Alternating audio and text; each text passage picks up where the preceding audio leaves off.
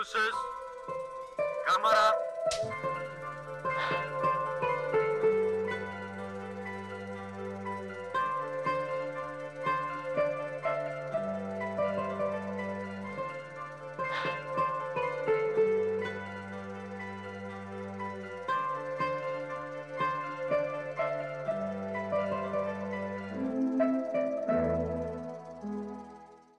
¿Qué tal amigos? Bienvenidos una vez más a Cine Cuba, el espacio que Gibara Visión ha dispuesto para que usted se encuentre con un audiovisual de factura nacional. Por favor, acompáñeme durante estos minutos de Buen Cine Cuba.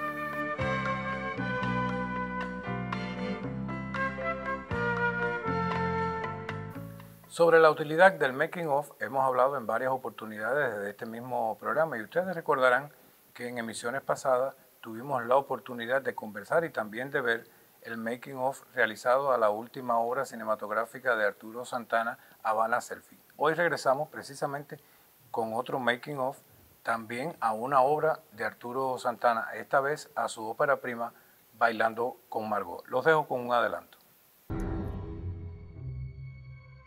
El guion me resultó atípico, atípico con relación al cine que generalmente se hace en Cuba. Es una suerte de cine negro cubano, con sus códigos, con su estilo, con la manera de, de- de interpretar la fotografía, todo. Me pareció muy interesante el hecho de que al ser al estilo del cine negro, tiene muy pocos diálogos. Es más el comportamiento. Y cambia esa cara. Cambia esa cara que a mí tú no me engañas. Ya usted tuvo un adelanto como motivación de lo que veremos esta tarde noche en Cine Cuba, el making of de la ópera prima de Arturo Santana, Bailando con Margot. Ahora vamos a hacer un alto en nuestra conversación, ir a la primera de nuestras secciones donde Giselle Espósito nos actualiza de lo último que acontece en el mundo cinematográfico.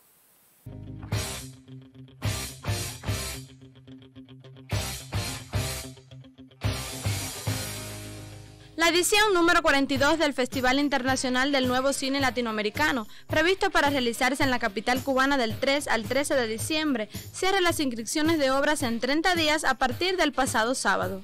Durante un intercambio con prensa latina, el presidente del evento reconoció que la pandemia de COVID-19 diferenciará la edición de 2020, pero sin alterar su esencia ni el efecto por el séptimo arte.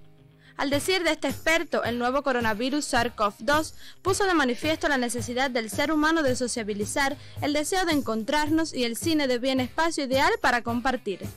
La imagen promocional de la edición 42 alude a la medicina y al personal de la salud, en agradecimiento a su labor ante la COVID-19, pues según sostiene el directivo, ellos hacen posible volver al encuentro social y la pandemia marca un momento muy particular de la historia de la humanidad. Con la firmeza de costumbre, la cita no renunciará al tema propuesto desde la clausura del evento anterior, el cine joven en América Latina. Como tradición, propicia encuentros entre la obra, el creador y el público. Por tanto, sus organizadores estudian cómo mantener esta línea mediante un mayor uso de este año al espacio virtual, para las presentaciones, foros y conferencias de prensa.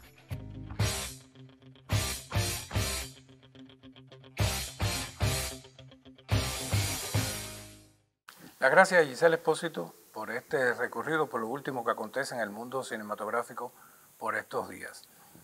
Y cuando hicimos aquel programa dedicado al making of de, la película de Arturo Santana, eh, Habana Selfie, pues estuvimos conversando un poco de este personaje, de este artista, todo un productor independiente, director, con una obra cinematográfica, sobre todo documentalística, yo creo que interesante en estos momentos, eh, también muy dedicado al, al videoclip.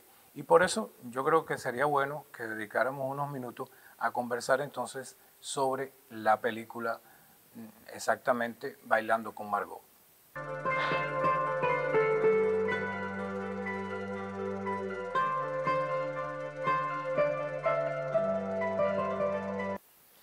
Bailando con Margot es la ópera prima de Arturo Santana y se nos presenta desde la sinopsis con que en la madrugada del primero de enero de 1959, es decir, desde la, noche ya anterior y la madrugada de este día, pues en la mansión de una acaudalada viuda, Margot de Zárate, se produce un robo de un cuadro importantísimo de Leopoldo Romañaz.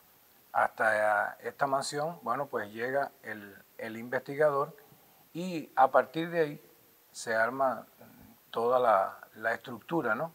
Parte de la estructura de la película. Eh, en la propia sinopsis habla del recorrido que se va a establecer desde el año mil, 1918, 1928 y 1933. ¿Para qué? Para explicar un tanto la historia, ¿no? la vida de esta mujer y también, bueno, pues la relación que se establece entre ellos dos. Esto es lo que se nos plantea en, en la sinopsis y ya de hecho este planteamiento nos puede resultar, yo creo que, que interesante en, en alguna medida.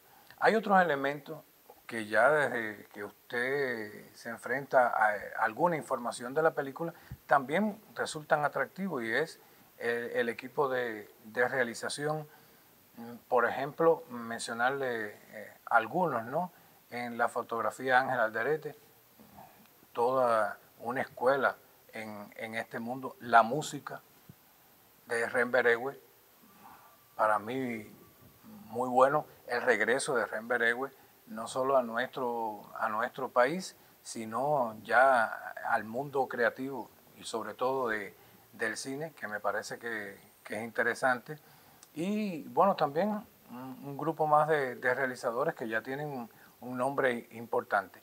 Pero también eh, están lo, los actores. En este caso, cuando usted revisa la nómina de actores que, que participaron, eh, la mayoría eh, tienen una obra ya interesante dentro del mundo cinematográfico cubano, aun cuando alternan con consagrados y, otros más jóvenes, pero todos tienen, tienen una experiencia en el mundo de, la actuación. Estamos hablando de un elenco encabezado sobre todo por, por Mirta Ibarra.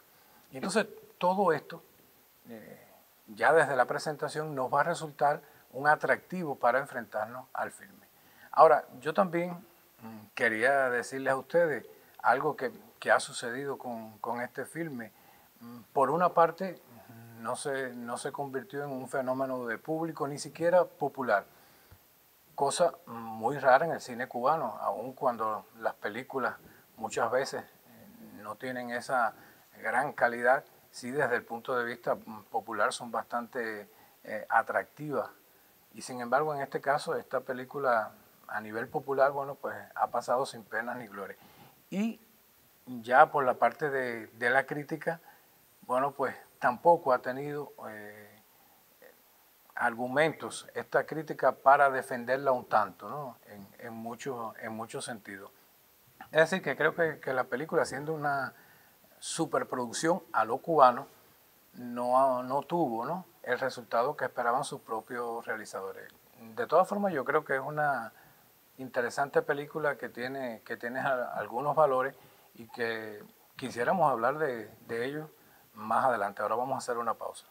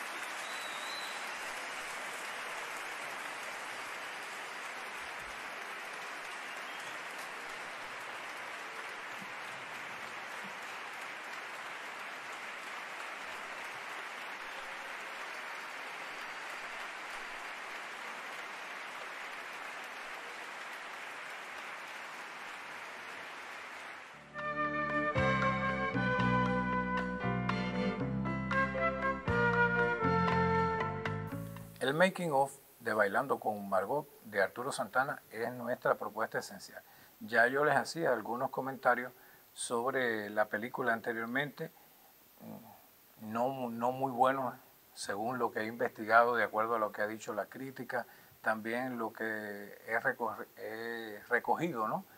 del impacto que ha tenido en, en la población. Sin embargo, yo creo que hay elementos que se pueden aplaudir dentro de, de esta, como yo le decía anteriormente, superproducción cinematográfica a lo cubano. Y, estos valores, a mi modo de ver, eh, están en una dirección de arte bastante centrada en diferenciar las distintas épocas por las que atraviesa la, película, la dirección de arte con todo lo que ésta lleva eh, incluida. Yo creo que esa mm, recreación de, la historia me parece interesante. Al inicio también le comentaba algo sobre la música.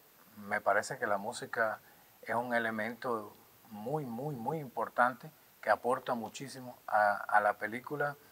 Remberegue hace un recorrido por esta época que, como sabemos, es esencial dentro de la música y, la cultura y la cultura cubana. Y, las actuaciones con sus altas y, y sus bajas también me parece que es algo de, de lo que nosotros debemos aplaudir dentro de la película, aun cuando siempre se le encuentre uno que otro problema a, la historia, a la forma de, contarla, al mismo género en que tratan de, encasillar la, película. Pero yo creo que, la película se, se disfruta en cualquier eh, sentido. Lo que vamos a ver hoy no es la película, por supuesto, es el making of. Y aquí vamos a ver entonces al equipo de realización encabezado por Arturo Santana, un tanto que defendiéndose de todo eso que la crítica de una manera u otra, bueno, pues ha dicho. Pues nada, sirva entonces de motivación este making of, disfrútelo ahora, pero como le decía, sirva de motivación para buscar la película por cualquier medio posible, verla y disfrutarla y ya los dejo entonces con el making of y con la invitación a que regrese la semana próxima, que aquí en Cine Cuba lo estaremos esperando. Muy buenas noches.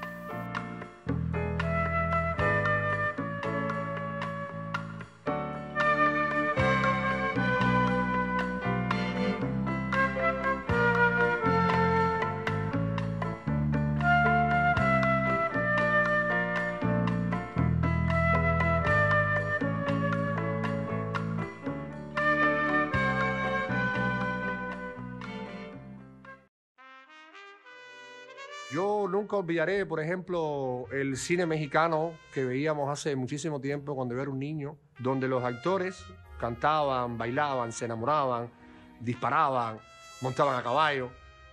Tiempo después, uno empezó a ver ese, aquel cine negro norteamericano de los 40 y 50 y toda esa posibilidad con el musical fue que pude escribir ese guion.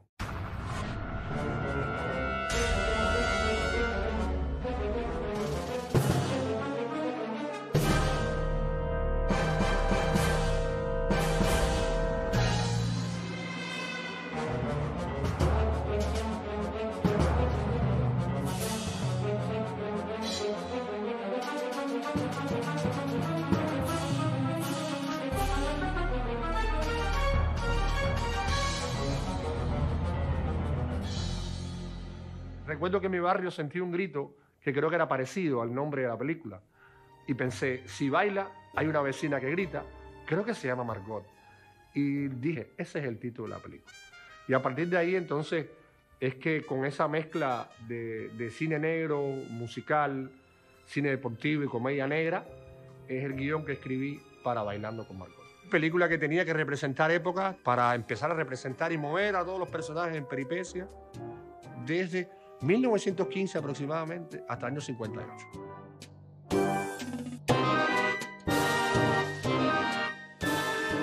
Es una historia que empieza de manera muy simple.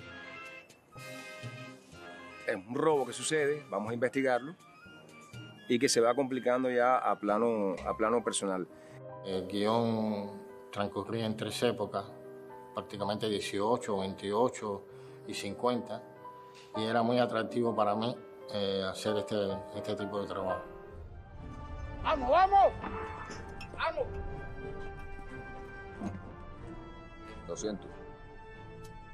Me pareció que había una mezcla de, de- de género, de- del music hall, de- de- del deporte, de, de- de la acción, de la propia mafia cubana eh, y, y toda esa, todo ese híbrido muy bien hermanado. El guion me resultó atípico. Atípico con relación al cine que generalmente se hace en Cuba. Es una suerte de cine negro cubano, con sus códigos, con su estilo, con la manera de, de- de interpretar la fotografía, todo. Me pareció muy interesante el hecho de que al ser al estilo del cine negro, tiene muy pocos diálogos. Es más el comportamiento. Y cambia esa cara. Cambia esa cara que a mí tú no me engaña. Vaya a buscar a esa mujer. todo un viaje a través, digamos, de la República Cubana, sin hacer énfasis en postulados ideológicos, sino a través de la música, el teatro y lo que le pasó a esos personajes durante esos años. Ha escogido usted muy bien. Este es el mejor lugar para pasar la noche.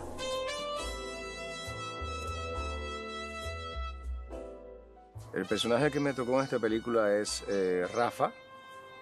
Es un detective, un investigador privado, que se ve envuelto en una historia eh, finales del año 58, que sucede en una mansión y que a medida que pasa la película se va complicando.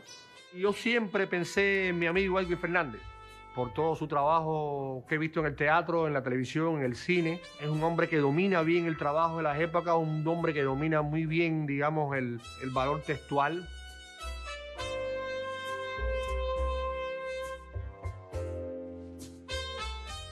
Mi personaje es el mayordomo de la mansión de Margot. Es un personaje bastante ambiguo y contradictorio y tiene que ver mucho con la vida de Margot.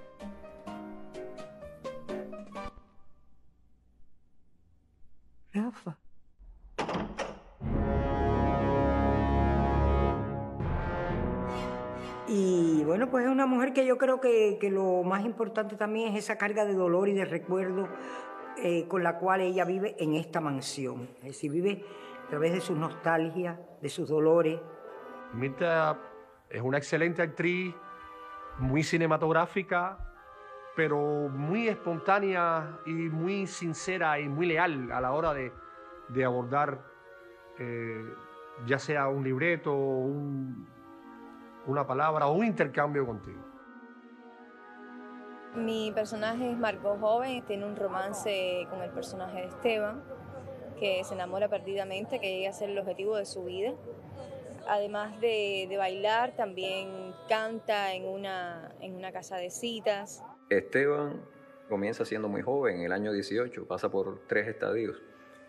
A partir de un suceso que le ocurre, toma una decisión, que esto lo lleva después a sufrir consecuencias. También junto con el protagonista viven sucesos muy importantes dentro de la película, es donde se, se consolida una amistad.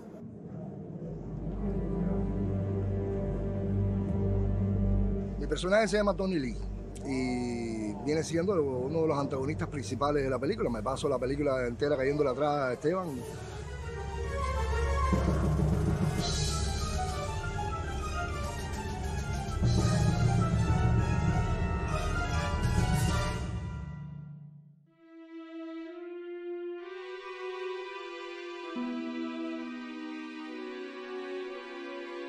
La ciudad no es la misma de ayer, y mucho menos del tiempo de la República. Y tuve que buscar soluciones inteligentes con mi director de arte, Onelio Larralde. Lo específico que te podía marcar una película como esta es los diferentes periodos de investigación que ha tenido que hacer y las investigaciones de género. Me traía los bocetos y me enamoraba, pero hasta el punto de que yo estuviera y cayera dentro de las escenas de la película. Tenemos un equipo muy bueno, formado con personal del ICAI que ha trabajado siempre conmigo y en todas las locaciones ha habido que, que hacer cosas.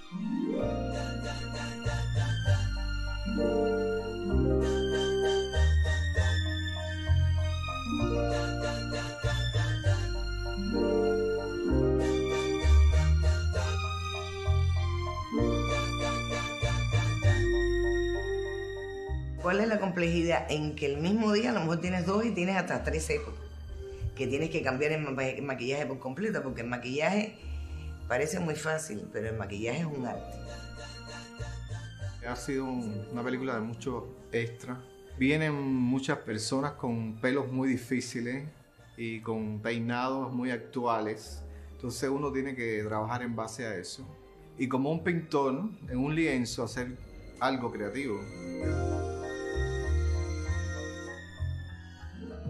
Todo el vestuario de almacén, el poco que, hemos encontrado, ha estado en muy mal estado, ha habido que hacer mucha reconstrucción de vestuario, confecciones bastante abarcadoras, lo mismo para protagonistas que para papeles secundarios, que para incluso figuración.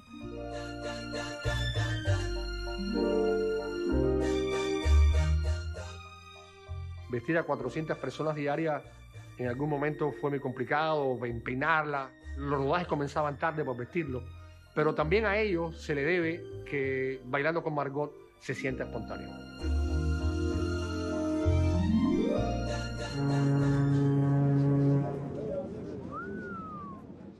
Son tres épocas completamente diferentes a un mismo tema y yo tenía que separar esas tres épocas. En el 18 tener la película más contrastada y a medida que iba acercándose al 50 la película iba a ser menos contrastada. Tengo un equipo técnico muy profesional, tengo personas en la cámara, a Luisito, jefe de iluminación, tengo a Abba con un equipo muy profesional y tengo también el foco a, a Canon. Si ese equipo no me acompaña, no podré hacer ese trabajo. Para mí es uno de los cineastas y fotógrafos mejores que yo he conocido en mi vida realmente. Yo creo que, que Bailando con Margot también existe gracias a la luz de Alderete.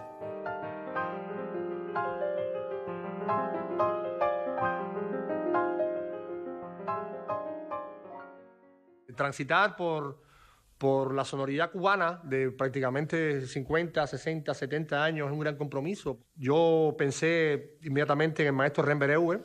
El hecho de que la película trata de diferentes épocas, a partir de los años 20 aproximadamente, entonces de ahí que nos podemos encontrar un Dixieland, un mambo, un cha-cha-cha, un danzón, como música incidental de hoy. Tú puedes emplear en una misma eh, película una música muy contemporánea y una música muy romántica. Realmente me ayudaron mucho los profesores Santiago Alfonso y Remberewes. Tenía mucho miedo porque decía, ay, pero es que yo no canto. Siempre a uno le da mucho temor eh, escucharse en una canción y, y trabajar.